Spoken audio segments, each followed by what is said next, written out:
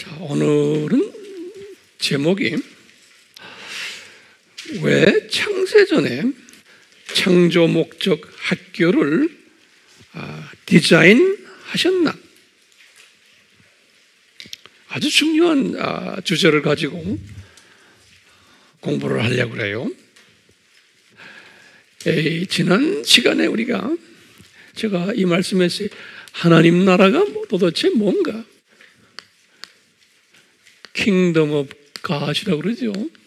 또는 하늘나라 The Kingdom of Heaven 이렇게 쓰기도 하고요. 하늘나라 또는 아, 하나님 나라 Kingdom of God 그래요. 자, 이 Kingdom of God 또는 Kingdom of Heaven을 우리가 지난 시간에도 그랬고 항상 우리 어떻게 배웠죠? 이렇게 배웠죠. 이렇게 항상 이렇게 그리는 연습을 하세요. 노트에다가. 그러면 이것을 뭐라고 그래요? 우리가 이 윗세상, above world 그랬죠. 윗세상. 이 세상을 뭐래?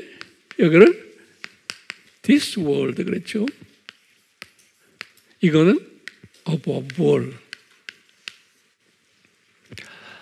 아, 이게 하나님 나라인데요. 실은 이것이 이렇게 그려놨지만 실은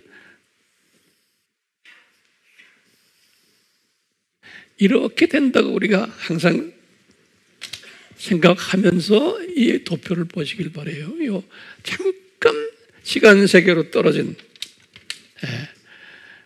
그런데 적그리스도 세력들은 이 하나님 나라를 어떻게 봐요? 기독교인들의 적그리스도 세력들의 대부분이 기독교 출신들이에요.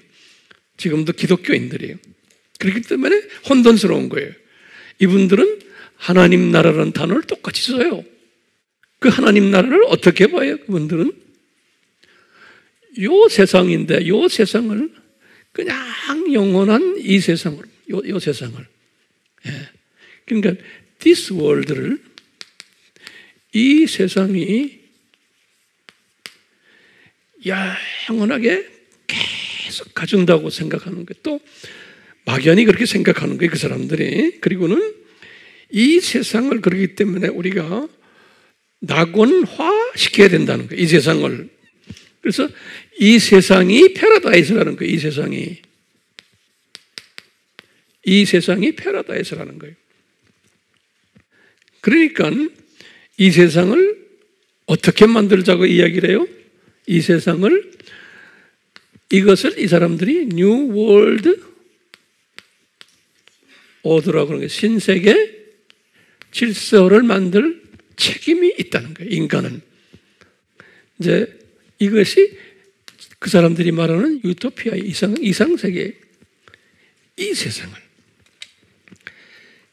그렇기 때문에 우리 기독교인들이 말하는 이 세상관과 기독교인들인데 다원주의적인 적그리스도의 사상을 가진 기독교인들이 가지고 있는 이 세상과는 달라요. 근데 우리가 이런 것을 구별을 하지를 못하기 때문에 혼돈을 하는 거예요. 예. 지금 오늘날 전 세계 교회의 약 한 70% 정도가 우리 WCC라고 그러죠. 로만 가톨릭도 마찬가지요. 이분들이 가끔 저 세상 낙원 이야기하지만 구체적으로 저 세상이 존재한다고를 구체적으로 믿는 사람들이 많지가 않아요. 그래서 어떻게 하느냐? 이 세상이 우리 인간이 영원히 사는 세상으로 착각을 하는 거예요. 그렇기 때문에 제가 몇 주 전에 말씀드렸지만 이 죽으면은 그러면 어디 가느냐 할 때 사후를 어떻게 봐요? 이분들은 제가 세 가지 의미를 드렸죠. 이거 잘 기억하셔야 돼요. 첫 번째 죽으면은 어떤 사상이에요? 윤회적인 사상을 가지고 있는 거예요. 아주 깨끗하게 살다가 죽었으면은 극락세계 간다. 라고 막연히 믿어요. 근데 그 극락세계를 이분들은 이쪽 above world라고 생각을 하지만 반드시 그렇게는 생각하지 않아요. 지금 이 세계에서 조금 위에 있는 좀 괜찮은 동네라고 생각하는 막연한 생각을 하요. 극락세계 간다. 근데 그런 사람은 아주 소수다라고 보는 거예요. 그러니까 대부분의 사람들은 죽으면 어떻게 돼요? 죽으면은 다시 사람으로 환생하든지 또는 동물로 환생하든지 또는 나무로 환생하든지 이 세상으로 다시 환생한다고 믿는 거예요. 이 세상관이에요. 그러니까 착하게 살자라는 의미는 다시 이 세상에 더 좋은 포지션을 가진 이런 사람으로 환생한다는 개념이 있어요. 그러니까 이 세상에 눈이 가 있는 거예요. 기독교인들 중에서요, 환생 이론은 힌두교니 불교니 아, 이슬람도 이런 그분들의 신학을 보면은 우리가 이슬람에서 공부했죠. 약간 차원이 다르지만 알고 보면 다 비슷비슷해요. 자, 두 번째는 뭐예요? 죽으면은 죽은 사람이 어떻게 된다고요? 기독교인들 중에서도 이게 안식교에서도 이렇게 말을 해요. 에, 죽으면은 그냥 잠잔다. 예, 무덤에서. resting 한다. sleeping 한다. 라고 보는 거예요.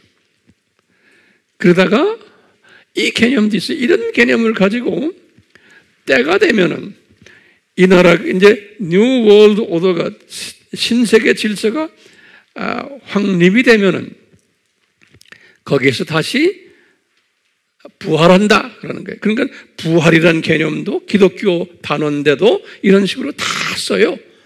그렇기 때문에 이, 우리가 이런 기초 공부가 안 돼 있으면 그대로 혼돈해요. 부활해요? 어, 그 맞습니다. 부활합니다. 그런다. 이런 부활 개념도 가지고 있어요. 네. 또 무슨 개념이에요? 죽으면은 귀신이 돼가지고 조상신이에요. 그냥 떠돌아다닌다는 거예요. 이 세상에. 우리나라의 크리스천들도 이런 생각하는 사람 많아요.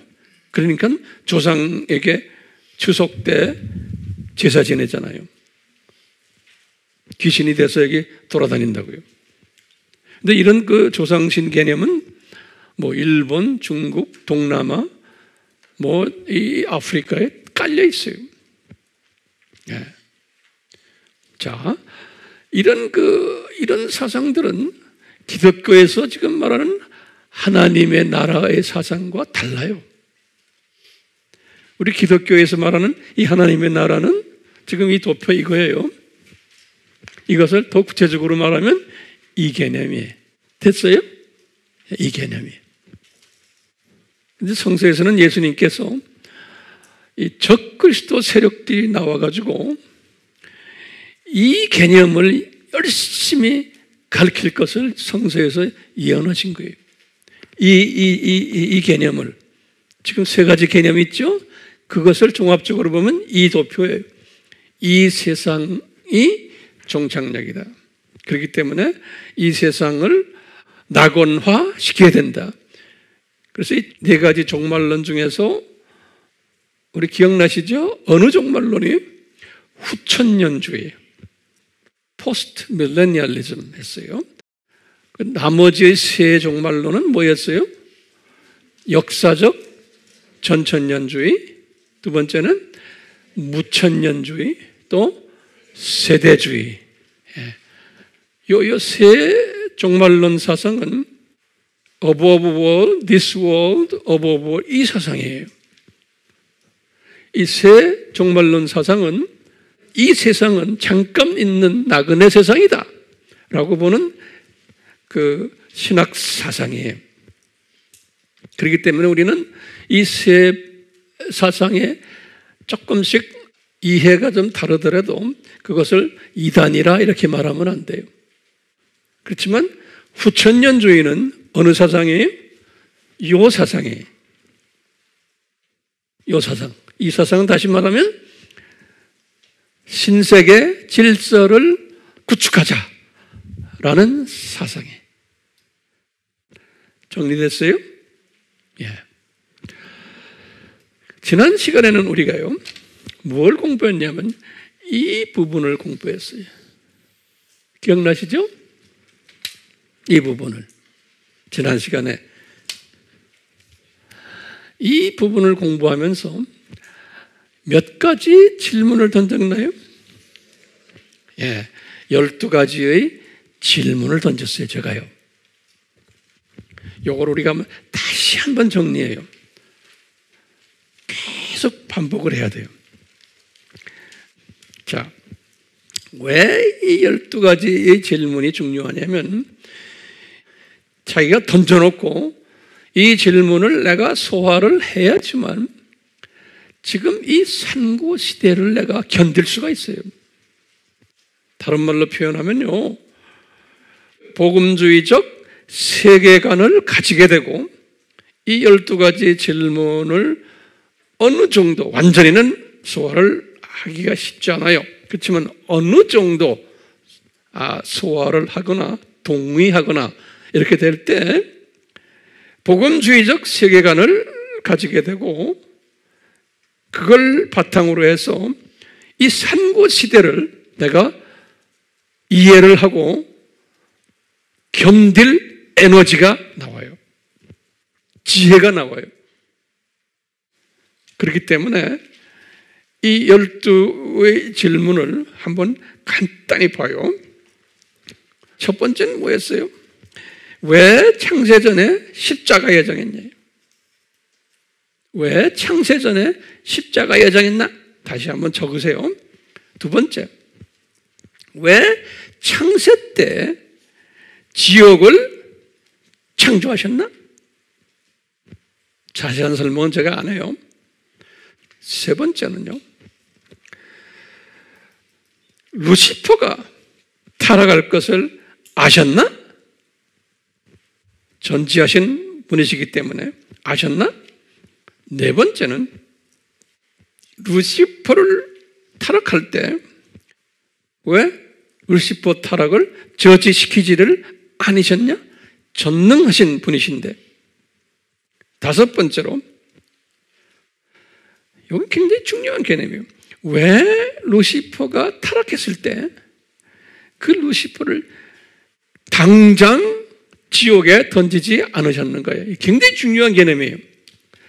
루시퍼가 타락했을 때 루시퍼가 지금 타락을 요때 했는데 요때 왜 루시퍼를 창세기 1장 1절에서 지옥을 창조하셨거든요. 그러니까 지옥에다 던지시면 돼요. 이놈의 새끼하고. 그렇죠? 근데 왜 지옥에 던지지 않으셨는 거예요? 우리가 지금 질문 던지시면서 여러분들이 항상 이런 걸 묵상하세요. 계속 저는 그래요. 자꾸 묵상해요. 왜 지옥에 안 던지셨는가? 그리고는 또 질문해. 그럼 언제 이놈을 지옥에다 던졌어요? 지옥에서 던졌다가 이놈을 불목까지 집어넣는데 언제 그런 일을 하셨어요? 이 세상을 만드시고 이 세상 끝날 때 하셨어요. 이거 중요한 개념이에요. 왜 이때 안 하시고 아담으로 하여금 타락을 하게끔 하셔가지고 이 세상으로 우리가 떨어지게 하셔가지고 7천 년을 지나게 한 후에 그 기간에 온갖 나쁜 짓을 하게 한 다음에 7천 년 긴 기간 동안 그리고는 다 끝났을 때 7천 년이 여기에 이제 불못에 집어 던지신 거예요. 예. 우리 의문인 거예요. 왜 이렇게 하셨나? 그러니까 여러분들 설명할 때도 저처럼 도표를 그려가면서 하셔야 돼요. 그래야 이게 visualize 돼요. 입체화가 돼. 그냥 말로만 하시면 안 돼. 사람들이 좋아를 못해요. 이게 지금 몇 번째 질문에? 다섯 번째 질문. 여섯 번째 질문은 이 사탄이 타락할 때 천사들 3분지 1 3분지 1을 데리고 타락했어요. 그래가지고 천사 사회를 만들었어요. 계시록 12장 4절에 우리가 나오면 나중에 이제 계시록 12장 공부할 때 더 자세히 공부하게 될 거예요. 자, 일곱 번째는요. 이 루시프한테 권력이 있는 명예가 있는 이름을 줬어요. 왜 이런 이름을 이 친구한테 주셨을까요? 권력이 있는 명예가 있는 이름을 줬어요. 여덟 번째. 왜 이 친구를 이런 이름까지 주, 주셔가지고 에덴 동산에 아담과 같이 살게 하셨냐 이게. 그 넓은 우주가 있는데 딴 데다 보내가지고 살게 하지 않고 왜 아담과 같은 동네 에덴 동산에 가까이 살게 하셨나 이게. 창세기 3장 1절에 보면 에덴에 같이 있었다고 그랬어요. 아홉 번째는요. 아담 타락을 미리 아셨나? 하나님이 아담 타락을 미리 아셨나? 열 번째. 왜 아담 타락을 저지시키지 않으셨는가? 왜 아담 타락을 저지시키지 않으셨는가? 열한 번째, 왜 아담이 타락하는 그 즉시 예수님이 여호와께서 사탄에게 나타나셔가지고 하신 말씀이 있어요. 원시복음을 약속했어요. 사탄에게. 원시복음을. 내가 여자의 후손으로 이 세상에 내려와서 너희 후손과 십자가상에서 싸울 것을 그래서 내가 이길 것을 예수님이 이기실 것을 그게 원시복음이죠. 마지막으로 열두 번째 이 열두 번째가 굉장히 심각해요. 아담이 자기가 죄 지은 것을 알고는 에덴으로 다시 들어가 가지고 생명나무는 먹으려고 했을 때 왜 삼위 하나님이 못 먹게 저지를 하셨냐 이게 왜못 먹게? 창세기 3장 22절에서 24절이 예. 자, 이 열두 가지 이 질문을 던지면서 우리가 지금 찾아내야 할 답이 뭡니까? 찾아내야 할 답이 아하 뭐예요? 하나님께서 창세 전에 이미 창조 목적 학교를 디자인하셨구나 라는 답을 우리가 찾아낼 수가 있어요. 왜 창세전이 첫 번째 질문이 창세전의 십자가 사건을 미리 말씀하셨어요. 창세전에 이렇게 하셨구나. 그래가지고 하나님의 예정된 자녀들이에요.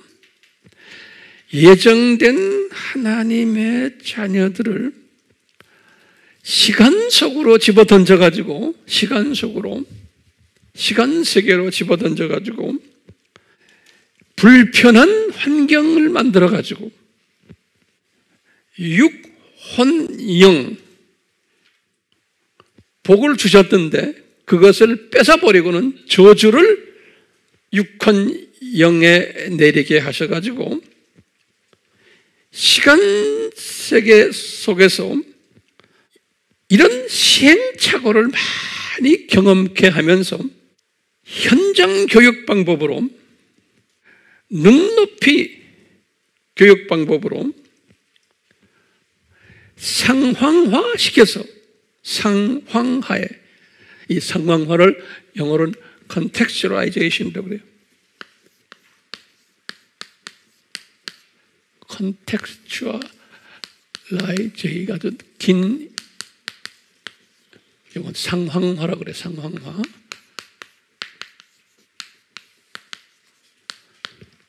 상황화 교육을 이제 창조 목적을 가르쳐 주기 위해서 상황화 교육을 시켜 주기 위한 그러한 그 디자인을 창세 전에 하셨구나. 라는 것을 우리가 확실히는 모르지만 우리가 짐작을 할 수 있어요. 이 열두 가지 질문을 가지고요. 다시 한번 제가 한, 한 열 가지 정도의 부분에서 묵상을 하게끔 제가 깨달았어요. 그래서요. 지금 이 창조 목적 학교 창세전에 하셨다는 이 개념을 가지고 한 열 가지의 묵상 제목들이 있어요. 그러니까 여러분들도 이걸 항상 묵상하세요.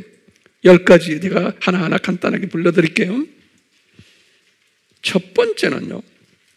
이 열두 가지 질문을 가지고 내가 우리가 이제 묵상하는 거예요. 왜 이제 창세전에 이것을 준비하셨을까? 첫 번째 묵상을 이렇게 하는 거예요. 아하, 창조 목적이 대단히 중요하구나. 창조 목적의 중요성과 또 절대성과 또 이 창조 목적이 하나님의 자존심과 연계되어 있구나. 라는 것을 묵상하는 거예요. 창조 목적이 하나님의 자존심과 연계되어 있구나. 이것을 묵상하는 거예요. 저는 이걸 묵상을 매일 해요. 두 번째는요. 아, 하나님이 지금 이 창세 전에 이야기에 창세 전에 창세 전에 이 디자인하셨기 때문에 하나님이 장차 만드는 이제 창조할 하나님의 자녀들이에요. 이 하나님의 자녀들을 교육을 시켜야 되겠다라는 소원이 담겨 있는 거예요. 이 창세전 이 하나님의 이, 이 마음을 우리가 지금 읽고 있는 게 장차 만들어 놓은 하나님의 자녀들을 교육시켜야겠구나. 네. 이 소원이 담겨 있고 세 번째는요. 이 교육을 시키기 위해서 예수 하나님이 인간으로 내려오셔서 이 학교의 교장이 되셔야 되겠구나라는 그 하나님의 마음이 거기 담겨 있어요. 이것을 성서에서는 하나님의 신비다 그러는 거예요. 하나님의 the mystery, the mystery of God 그래요. 창세전 십자가 사건이에요. mystery of God. 네 번째로는요, 이 교육 장소가 저 세상이 아니고 이 세상으로 무대를 만든 거예요. 이 세상으로. 다섯 번째는요, 교육 방법은 상황화시켜서 눈높이 현장 교육을 시키시려고 하셨어요. 교육 방법을. 여섯 번째는 사탄에게 높은 권력과 명예를 줘가지고 이놈을 사용해서 교감으로 임명하려고 그랬어요. 교감으로.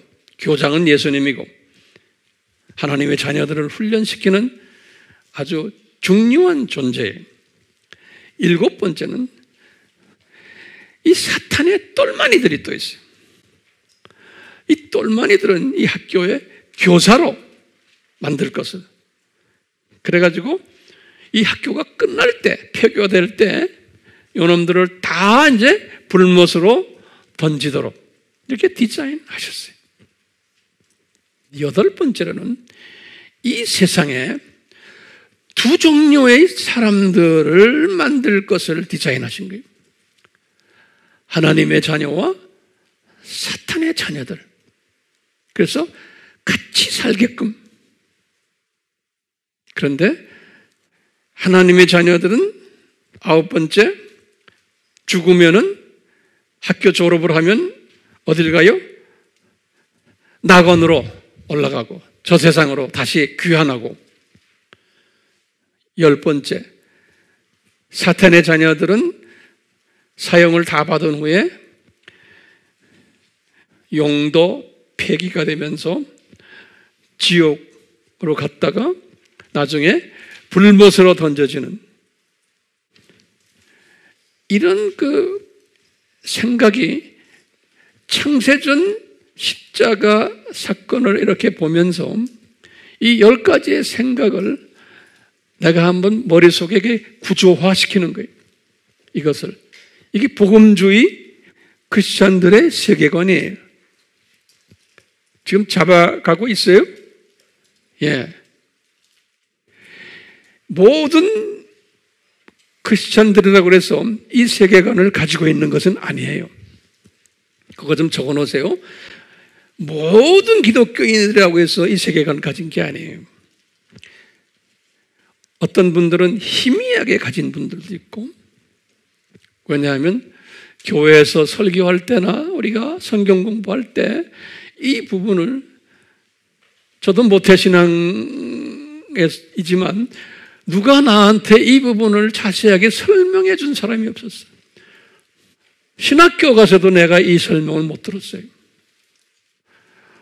박사 공부를 끝냈는데도 이 설명을 못 들었어요, 제가. 소위 박사인데도 신학대학원의 교수인데도 이 설명을 누가 시원하게 나한테 해주는 사람이 없었어요. 그러니 얼마나 답답하겠어요? 그리고는 오늘날도 여러분들 손에 웹이, 웹에 들어가서 다 보죠? 웹에 들어가서 말씀을 보세요. 이걸 시원하게 대답해 주는 사람이 있어요? 다 쪼가려 쪼가려 이야기하죠. 그러니까 오늘날 이 똑똑한 분들이 답답해 하는 거예요. 어디가 풀리질 않아.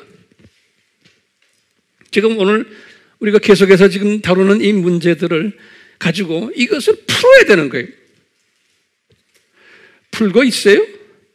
근데 한꺼번에 다 풀려고 그러면 안 돼. 욕심 부리지 마세요. 천천히 하나하나 지금 풀어가고 있는 그 과정에 하나하나. 어느 정도는 풀렸죠? 예. 자, 이것이 풀려야지만 내가 이 산고 시대를 내가 직시할 수 있어요. 그리고는 이것을 내가 소화하고 해석하고 의미를 부여하고 그 다음에 주변의 많은 사람들에게 이것을 내가 가르칠 수가 있어요. 자, 이 창조 목적 학교를 개설을 하려고 하는 그 하나님의 계획이 다시 내가 물어봐요. 언제 이 계획을 하셨어요? 그러면 창세전입니다. 제가 말하는 걸 다 적으세요. 왜냐하면 내가 지금 다른 아이디어를 또 발전시키려고 그래서 그래. 창세전입니다. 그러면 어떻게 계획하셨어요? 그러면 how예요. 어떻게 계획하셨어요? 그러면 장차 하나님의 자녀들을 아직 창세전이니까 하나님의 자녀들을 창조하기 전 이야기예요. 장차 만들어질 하나님의 자녀들을 시간 세계에 던져가지고 교육시킬 것을 디자인 하신 거예요. 그러면 보세요. 우리 다 평소에 우리가 다 공부한 것들 내가 다시 좀 정리해 드리는 건데요. 시간 세계에 던졌다는 것은 다른 말로 표현하면 아담 타락이에요. 그렇죠? 그러면 여기 잘 보세요. 아담을 딱 만들었을 때, 창조하셨을 때, 아담에게 뭘 주셨냐면 복을 주셨어요. 거기 이제 창세기 1장 28절이에요. 그거 잊지 마세요. 자, 복을 줬어요. 자, 복을 줬다 그러면 어떤 복을 준 거예요? 육의 복, 혼의 복, 영의 복을 준 거예요. 이거 좀 자세히 하나하나 정리합시다. 복을 줬는데 어떤 복? 육의 복, 혼의 복, 그 다음에 뭐예요? 영의 복을 줬어요. 이 말은 뭐냐면 육의 복은 뭐예요? 아담이 받은 육의 복이 육이 썩지 않는 육이에요. 그렇죠? 생로병사를 경험하지 않는 육이에요. 그러니까 영원히 존재하는 육이에요. 그뿐 아니라 시간과 공간의 제한을 받지 않는 육이에요. 이런 육을 받은 분이에요. 그게 복인 거예요. 나중에 우리가 이제 이 복을 다시 회복하는 거 아닙니까? 자, 혼의 복은 뭡니까? 혼의 복은 이분이 하나님의 형상으로 지원받았고 창세기 1장 26절에 하나님의 모습으로 지원받은 거예요. The image of God. 그 다음에 the likeness, likeness. 하나님의 모습으로 지원받았어요. 그리고는 성령님의 열매가 맺어지는 이런 젠틀맨이 아주 멋있는 젠틀맨, 인격이 고상한 하나님의 인격을 가지고 있는 그러한 모습의 분으로 지음받은 거. 이거 복의 복. 혼적인 복이. 영적인 복은 무슨 복을 받았어요? 아담이? 아담이 하나님의 영을 성령을 받아가지고 그분의 영과 성령님과 연합해가지고 하나님의 자녀가 된 거예요. 예. 창세기 2장 7절에 그러니까 하나님의 법적인 자녀가 된 거예요. 이게 복 받은 거예요. 근데 창세 전에 이분에게 이 복을 던져준 다음에 그 다음에 사탄을 사용해 가지고 요 복을 빼앗기도록 디자인하신 거예요. 그래서 타락했다는 의미는 복을 빼앗긴 거예요. 그것을 성서에서는 저주 받았다 그러는 거예요. curse. 저주 받았다 그러는 거예요. 그러니까 저주가 어떤 저주예요? 육의 저주를 딱 보던 거예요. 그래가지고 육의 저주가 어떻게 됐어요? 시간 속으로 떨어져 버린 거예요. 육의 저주가. 그게 이제 창조 목적 학교 입학한 거나 마찬가지. 그러니까 그때부터 이제 육이 나이가 들기 시작하고 이분이 930세에 죽었잖아요. 그리고 날로 날로 나이 들어가면서 930세에 죽고 열심히 일을 해야지만 먹을 것이 있고 땀을 흘려야지만 생로병사의 경험을 하는 존재로 그게 저주인 거예요. 저주. 혼의 저주는 뭡니까? 이분이 벌써 그분의 아들들 봐도 가인을 봐도 알잖아요. 사탄의 성품이 이미 들어가 버린 거예요. 영의 저주는 뭡니까? 하나님의 자녀권을 잊어버린 거예요. 이렇게 저주를 받은 이 세상에, 다시 말하면 지금 이 세상은 사탄의 자녀는 관계없어요. 하나님의 자녀들이 복을 받은 하나님의 자녀들이 이 블레싱이 이때 있었는데 이제 curse를 받는 저주를 받는 그리고 또 블레싱으로 다시 회복하는 그러니까 이 세상은 curse 저주를 하나님의 자녀들이 저주를 받는 받은 세상이에요. 그래가지고 창조 목적을 교육받는 장소가 이 세상인 거예요. 그래서 저주를 받은 하나님의 자녀들을 복으로 회복을 시켜줘야 되잖아요. 그냥 저주에다 던져버리면 안 되잖아요. 그래서 회복시키는 그 회복 디자인을 언제 했어요? 창세전에 한 거예요. 회복 디자인까지. 그 창세전에 누가 이 세상에 내려와서 회복시켜 줄 것을 디자인했어요? 성자 예수님께서. 그래서 창세전에 십자가에 달리셔서 예수님이 그 대신 저주를 받을 것을, 저주를 뒤집어 쓰실 것을. 그거 십자가에서 그걸 다 디자인하신 거예요. 우리 다 공부했죠? 그러면 하나님의 자녀로 예정된 사람들은 아하 예수님이 나의 저주를 떠맡으신 분이구나라고 믿는 사건들이 일어나도록 디자인된 거예요. 그래서 믿는 순간에 그 저주가 누구한테로 넘어가 버려요. 어린 양 예수님께 넘어가 버려요. 이미 넘어갔죠, 십자가에서. 그러면서 예수를 믿는 그 순간에, 아, 내 저주를 저분이 말살해 버리셨구나. 라는 것을 믿는 이야기에 십자가에서 하셨구나. 그렇죠? 우리는 그것을 믿기 때문에 하나님의 자녀가로서 다시 회복된 거예요. 근데 제가 이런 말 했죠. 그런데 이것이 이 세상에 사는 동안에는 이 저주 말살 계획이 이미 십자가에서 일어났지만 지연된 복이 있다 그랬어요. 그러니까 복을 회복을 받는데 육의 저주와 혼의 저주가 복으로서 이제 바꿔졌는데 그 바꿔지는 것은 지연시키셨다 그러셨어요. 지연시키셨다. 언제 지연시키다? 이 세상에 사는 동안에는 육의 저주는 그냥 가지고 있는 거예요. 우리가요. 그렇지만 우리는 사탄의 자녀들과 달라요.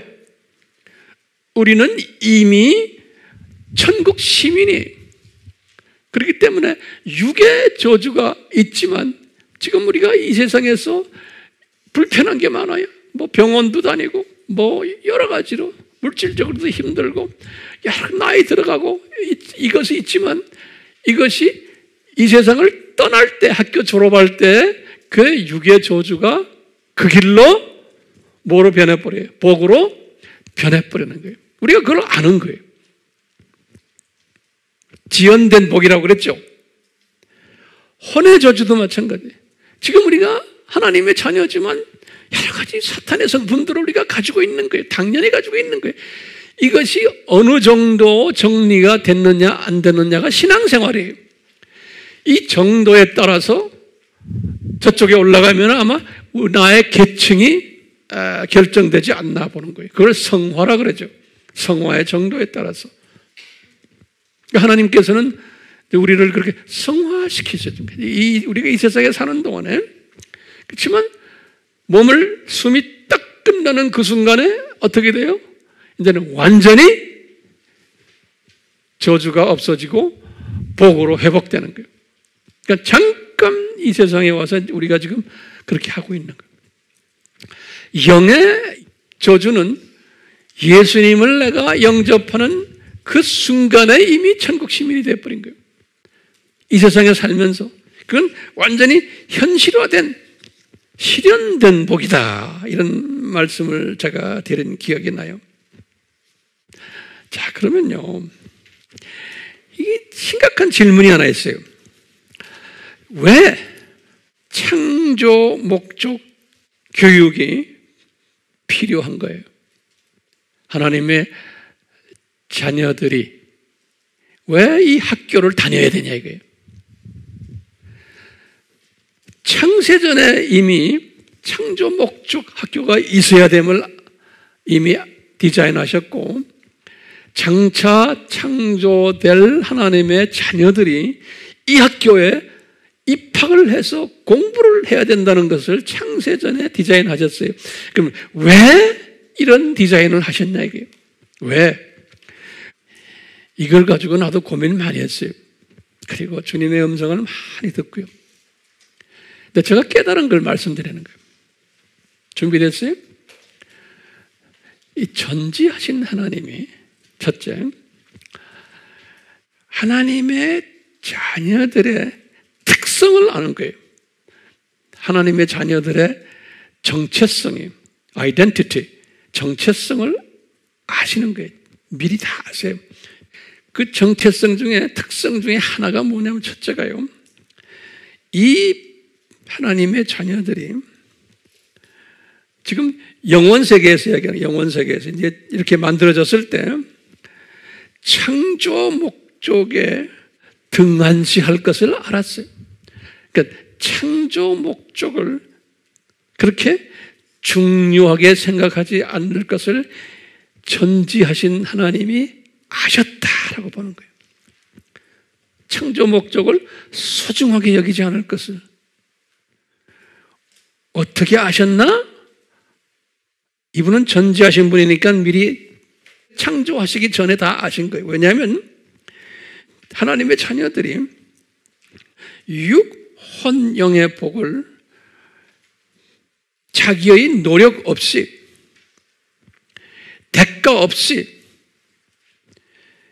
쉽게 받는 존재들 아닙니까? 자기가 어떻게 무슨 선한 일을 해가지고 받는 게 아니잖아요. 육의 복, 영원한 복이 혼의 복, 영의 복 이것을 이렇게 쉽게 받기 때문에 인간은 쉽게 받을 때 이 주신 분이 누구며 주신 분이 왜 이런 것을 주셨고 주신 분의 소원이 뭐고 또는 주신 분의 최대의 관심사가 무엇인지에 대해서 별로 신경 안 쓴다는 것을 아신 거예요. 무관심할 것을, 등한시할 것을. 제가 다시 말해요. 요거, 요거 지금 중요한 이야기죠. 전지하신 하나님이 장차 피조물을 만들어낼 텐데, 하나님의 자녀들을 창조하신 것은 분명히 창조 목적이 있기 때문에 하시는 거 아니에요? 창조 목적이 있는데 이 창조 목적이 뭐예요? 창세기 1장 28절에 딱 있어요. 창세기 1장 28절 우리 항상 알죠? 번성하라. 애기 많이 나라. 그리고 많이 퍼져라. 그러면서 뭐라고 말했어요? 모든 피조물들을 다스려라. 가르쳐라. 인도시켜라. 격려시켜라. 다 창조 목적대로 살도록 피조물들을 잘 가르치고 관리하라는 거예요. 이것이 하나님의 자녀들의 사명이 그것을 우리가 창조 목적 파트너다. 파트너십이다. 이렇게 우리가 이야기 여러 번 제가 했죠. 그러니까 우리가 이제 이 창조 목적 학교를 끝난 다음에 이제 저 나라에 올라가면은 우리는 이 일을 계속 할 거예요. 저쪽 동네 올라가서도 굉장히 바쁘게 살 거예요. 그런데 피조물을 들인 이분들이 이런 모든 육혼령의 이런 그 엄청난 복을 받고 또 이런 그 특별한 짭을 준 거예요. 그래서 동물들을 창세기 1장에 그 6일 동안 만들 때 보면은 하나님의 형상대로 하나님의 모습대로 지었다라는 말이 없어요. 그러니까 모든 다른 피조물들은 그런 식으로 피조하지 않아졌어요. 근데 사람은 특별히 삼위 하나님의 형상대로 모습대로 지어서 왜냐하면 특별한 존재예요. 왜냐하면 창조 목적 파트너 역할을 하는 존재예요. 그러니까 우리는 이제 좀 있다가 저쪽 동네에 가면 우리가 할 일이 다 이런 것들이에요. 자, 그런데 다시 내가 반복해요. 이런 파트너십을 가졌는데 하나님의 자녀들이 만들어지면은 이것을 잘 못할 것을 아신 거예요. 예. 왜냐하면 육혼령의 이 엄청난 복을 받고 이런 엄청난 짭을 줬는데 이것을 무료로 대가 없이 쉽게 받았기 때문에 이 부분에 등한시할 것을 전지하신 하나님이 이미 창세전에 아셨던 거예요. 네. 그렇게 사람의 특색 중에 하나가 지금 이거예요. 또 사람의 특색 중에 하나가요. 제가 묵상 중에 깨달은 건데요. 사람의 특색 중에 하나가 하나님이 사람을 만드실 때 하나님과 구별을 시켜서 만드셨어요. 여기 굉장히 중요한 개념이 구별을 시켜서 만드셨어요. 하나님과 똑같이 100% 같게끔 안 하셨어요. 지금 이 부분은 잘 오늘 소화하시길 바래요. 다시 말하면요. 하나님의 형상은 줬어요. 그 다음에 하나님의 모습도 줬어요. 그런데요. 하나님과 100% 동일하게 동격으로 같은 위치로 동질 동양으로 만들지를 않으셨어요. 만약에 동질 동양 동격이면 어떻게 됩니까? 사람이 교만해져요. 하나님을 섬길 필요도 없게 돼요. 왜냐? 하나님과 같은 위치에 있으니까. 하나님 앞에 예배 드리거나 찬양 드리거나 경배 드리지 않아도 돼요. 그렇기 때문에 절대로 그렇게 만들지 않으셨죠. 피조물은 뭐예요? 한 단계 낮은 레벨로 만든 거예요. 그렇기 때문에요. 이 말을 잘 들으세요. 구별시킨 거예요. 창조주와 피조물은 구별시켰다는 그 개념이 굉장히 중요해요. 예.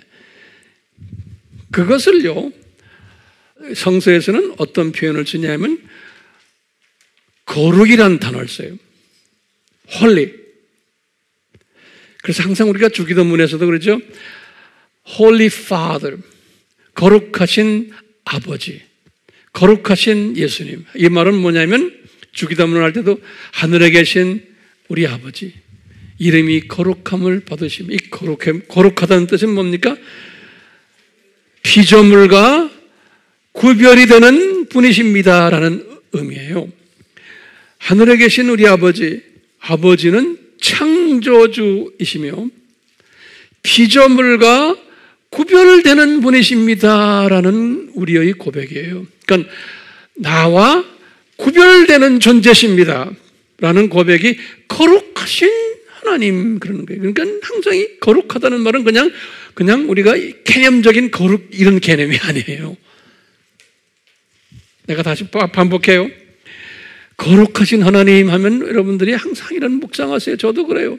아, 저와 우리 주변에 있는 모든 하나님의 자녀들과 하나님은 구별되시는 분이시군요. 특별한 분이시군요. 이것을 항상 고백하는 거예요. 묵상하는 거예요. 그 묵상을 하는 사람을 예수님이 굉장히 기뻐하세요. 그러면서 저는 예수님의 도움이 필요한 존재입니다. 라는 것을 항상 묵상하는 거예요. 네. 자, 이 구별되는 존재이기 때문에 피조물은 항상 창조주와 구별이 되기 때문에 비교 대상이 아닌 거예요. 피조물은 한계성을 가진 존재예요. 피조물은 창조주와 비교했을 때 나약한 존재예요. 하나님의 입장에서 보면 항상 불온전한 존재예요. 이 피조물은 온전치 못해요. 하나님의 시각에서 볼 때. 또 피조물은 스스로 온전해질 수 없는 존재예요. 그러기 때문에, 요 다음에 개념이 좀 그러기 때문에 피조물은 하나님 앞에 인정을 받으려면 성령님의 도움이 절대로 필요한 존재예요. 삼위 하나님 중에서 피조물을 돕는 분이 누구냐면 성령님이. 그러니까 성령님을 통해서 성령님이 예수님께 힘을 주어서 예수님이 돕는 일을 하지 실제 돕는 자는 누구예요? παράκλητος. 요한복음 14장 16절에 παράκλητος가 무슨 뜻이에요? 돕는 자라는 소리예요. 성령님이에요. 그렇기 때문에 우리 피조물은 성령님의 도움이 절대로 필요한 자예요. 그러니까 예수님도 인간으로 오셔가지고 성령님의 도우심을 항상 받으셨어요. 예수님도. 그렇기 때문에 피조물은 자, 이제 보세요. 창세 전에 피조물을 딱 이제 창조하실 것을 예정하시고는 이 피조물이 어떤 존재예요? 이 피조물은 하나님보다 여러 단계 낮은 차원의 존재로 만드셨고, 이 피조물은 하나님의 시각에서 볼 때도 항상 한계성을 가지고 있고, 나약한 존재고, 온전치 못한 존재고, 자기 실력으로는 온전해질 수 없고, 항상 성령님의 도움이 필요한 존재로 디자인하신 거예요, 사람을, 하나님이. 그런데 사람을 만들어 놓은 목적이 삼위 하나님께 찬양을 드리고 경배 드리고 또 모든 피조물들을 잘 가이드해 가지고 이 일을 하도록 책임을 준 그 책임을 가지고 있는 창조 목적 파트너인데 이 파트너가 가지고 있는 한계성을 가지고 있는 거예요. 뭐냐? 나약하고 온전치 못하고 분위기에 지배를 받으며 자기의 자유 의지도 어느 정도 가지고서 하나님의 뜻에 어긋나는 행동도 할 수 있는 온전치 못한 존재예요. 창세 전에 이미 삼위 하나님이 다 그걸 서로 discussion 하신 거예요. 그렇기 때문에 이 존재는 성령님의 도우심이 절대로 필요한데 어떤 때는 성령님의 도움도 받지 않으려고 까불 때가 있다는 거예요. 이, 이, 이 피조물은 이걸 아신 거예요. 그렇기 때문에 성령님의 도움까지도 안 받으려고 하는 이런 존재이기 때문에 미리 아신 거예요. 왜? 자유의지가 있기 때문에. 자유의지가 있기 때문에. 네. 자유의지를 주시 로봇으로 만들지 않으셨거든요.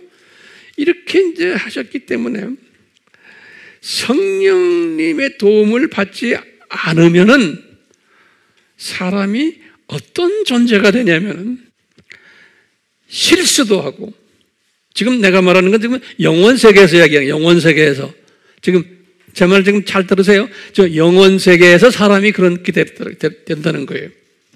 왜?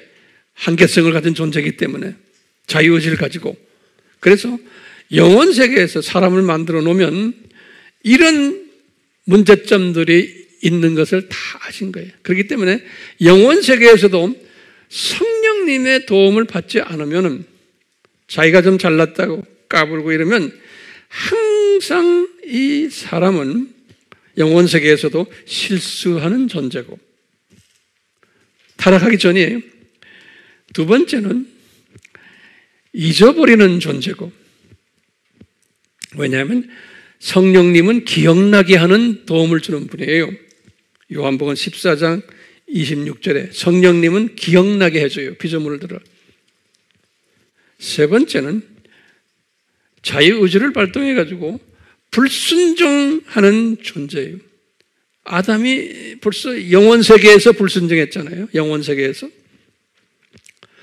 네 번째는 인간은 이기주의, 를 추구하는 자기 이익만 추구하는 존재예요. 영원 세계에서도. 다섯 번째로 자기 만족만 추구하는 존재예요. 영원 세계에서도. 여섯 번째로 자기 영광을 추구하는 존재예요. 다 이런 한계성을 가지고 있는 존재들이에요.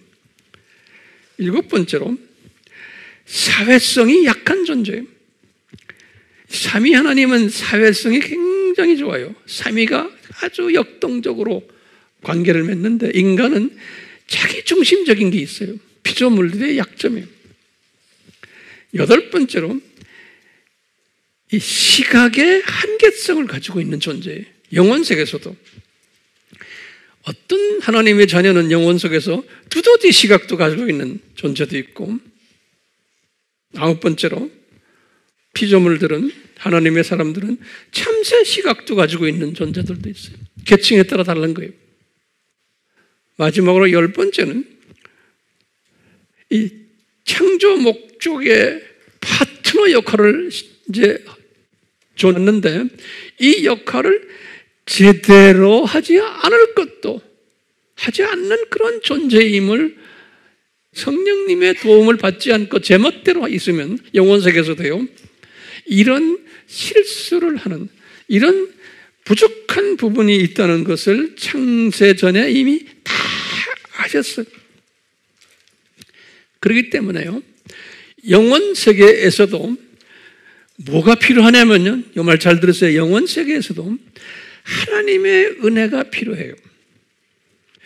이 하나님의 은혜를 추구해야 되고 그 은혜 주심에 감사해야 되고 영원 세계에서도요. 성령님의 도우심을 항상 추구하고 의지하고 이 성령님의 도움심에 감사를 해야 돼요. 영혼 세계에서도. 그런데요, 영혼 세계 속에서도 이런 것을 성령님의 도움 없이는 안 되는데, 하나님의 입장에서 보면 피조물들을 이런 나약하고 한계 있는 존재로 만드셨기 때문에 피조물들이 하나님의 마음에 합 당한 행위를 하려면은 좀 훈련이 필요하다고 생각한 거예요. 교육이 필요하다. 예. 이 피조물의 한계점이죠. 예? 훈련이 필요한 거예요. 그래가지고 창세전에 이미 디자인하신 거예요. 훈련이 필요하다. 요 피조물들을, 장차 만들 피조물들을. 그래가지고 복을 줬다가 복을 뺏어서 저주 속에 집어넣어가지고 7천년 이 세상에 창조 목적 학교에다 집어넣어가지고 훈련시키자. 그래가지고 삼위 하나님이 대화하시면서 예수 하나님이시오. 수고스럽지만 당신께서 내려가셔서 이 일을 좀 직접 지휘해 주세요. 창세전에입니다. 이렇게 하신 거예요. 그러니까 예수님께서 이걸 다 아시고 하겠습니다. 그래서 아버지에게 순종하셨다 그랬잖아요. 예수님께서요. 이 창세전에 이 창조 목적 학교를 디자인 하셨다라는 이 프로그램을 내가 100% 소화는 못하지만 제가 지금 이렇게 여러분들에게 지금 가르치는 것은 100% 가까이 소화하시도록 도와주려고 최선을 지금 다하는 게 제가요. 그렇지만 나도 100%를 모르는데 여러분들이 어떻게 알겠어요? 그렇지만 어느 정도는 이것을 알게 됐을 때 이 하나님 나라를 참새 시각으로 보지 않는 거예요. 그 다음에 이 7천년 이 세계를 참새 시각으로 보지 않고 이 7천년 이 세계를 무슨 세계? 독수리 시각으로 볼 수 있는 능력을 가지게 되는 거예요. 지금 제가 오늘 설명한 이 내용들을 어느 정도 속에 이제 이렇게 보시면은 아 하면 아 그러면서 어떤 시각자가 돼요? 복음주의적 세계관자가 되는 거예요. 그렇죠? 복음주의적 세계관자가 되면서 이런 세계관자가 된 사람은 어떤 것, 이 세상 오늘날 지금 일어나는 이 모든 이 산고들을 보는 시각이 독수리 시각자가 되니까 독수리 시각자를 제가 다른 말로 표현하면 전천후 시각자. 전천후. 이 전천후 시각이란 말은 뭐냐면 이, 이내 시각에, 눈에, 이, 이 시각에 성령님의 기름 부으심이 있어가지고 이게 그냥 팍팍 돌려지는 거예요. 다시 말해, 현미경 시각으로 봤다가 쫙 동시에 무슨 시각이에요? 예? 그냥 이 세상만 가까이 보는 요, 요 두더지 시각으로 됐다가 조금 올려가지고 참새 시각자가 됐다가 더더 올려서 무슨 시각이에요? 독수리 시각자가 됐다가 그 독수리는 이걸 다 가지고 있는 거예요. 아메바를 다 볼 수 있고 동시에 이 세상 돌아가는 걸 보고 저 세상 돌아가는 걸 보고 이 세상 저 세상 저 세상 이것까지 쫙 보는 시각. 이것을 제가 만든 말이지만 무슨 시각이에요? 전천후 시각자가 되는 거예요. 이 전천후 시각자가 되니까 성령님의 기름 부심이 해서 이 나, 나사가 아니고 뭐 이건 뭐라, 뭐라고 말해야 돼? 조리개 아니 무슨 바퀴 여기 바퀴, 바퀴 돌아가 이게 그냥 동시에 올라왔다 내려왔다는 거예요. 이것을 지혜 있는 자다 또는 명철이 있는 자다 지식을 바탕으로 한 지혜를 가지는 거예요. 네. 저의 이 기도 제목은 딴 게 아니에요. 우리 예마의 형제 자매들이요. 이, 이 시각을 가지는 연습을 우리 합시다. 음? 네. 그러면은 얼마든지 내가 이 세상에 돌아가는 이걸 보고 내가 소화하고 견디며 끝까지 견딜 수가 있는 거예요. 그리고 이런 상거들은 예수님이 그랬잖아요. 반드시 일어나야 된다 그랬잖아요. 네. 그러니까요. 이런 시각을 가지고 있으면 이 세상에 살면서 열심히 가정 돌보고 열심히 직장 생활 하시고 열심히 자기에게 맡겨주는 일들을 열심히 하시면서도 항상 이 윤활을 가지고 이 시각이 오라갔다 내려갔다 할 때 내가 지금 하고 있는 이 세상 일들이 의미가 생기는 거예요. 내가 이걸 왜 하는가? 그러니까 항상 그 의미를 가지고서 사는 거예요. 그 다음에 방향이 설정이 되는 거예요. 나의 인생 방향이. 그렇다고 해서 다 목사가 되는 것도 아니잖아요. 예?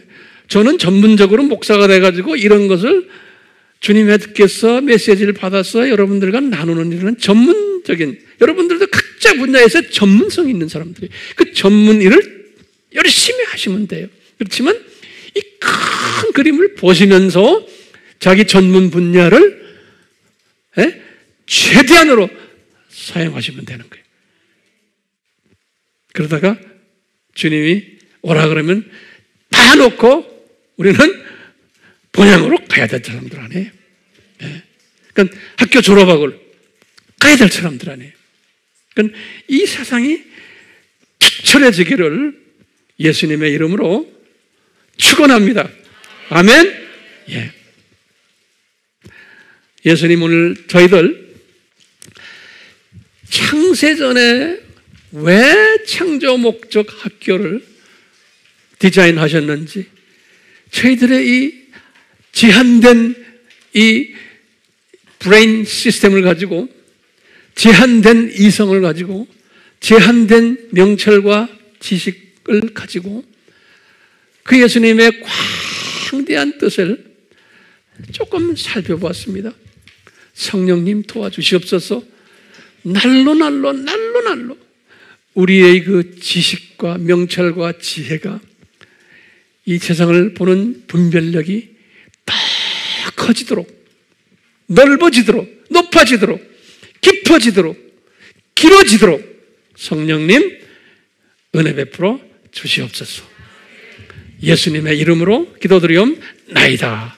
아멘. 제가 눈을 뜨고 축도하겠어요.